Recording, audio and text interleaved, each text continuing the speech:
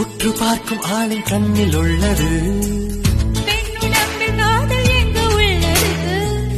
ஆண் தொடாத பாகம் தன்னில் உள்ளது. நீ வரையத் தெரிந்த ஒரு கவிஞர் கவிஞன் பெண் தெரிந்த ஒரு கலைஞன் மேகத்தை ஏமாற்றி மண் சேரும் மழை போல மடியோடு விழுந்தாயே பூவாசம் புறப்படும் பெண்ணே